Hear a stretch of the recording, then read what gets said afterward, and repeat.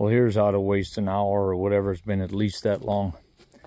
So, cutting firewood. I go to use this conveyor, hydraulic motor down there.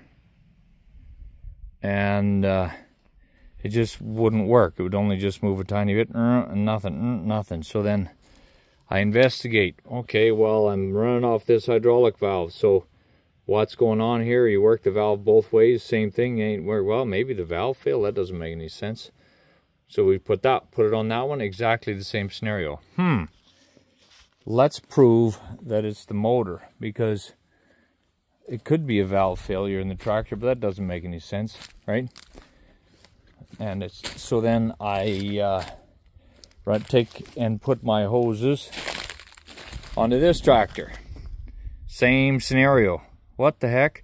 Both ways. It just pressures up the line, won't work, won't function. It only just rotates, just uh, uh, and then nothing. So then I dig out my spare motor. I know it's brand new. Put it on. Same scenario. What the freaking heck is going on? Take the chain off. Things just rotate smooth and easy. Have you figured out what I did wrong? Here that friggin' junk had been bumped and come loose. Because this is, just a hydraulic fitting, right? And it was like that.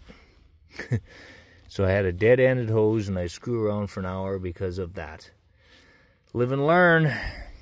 Hopefully learn. Yeesh.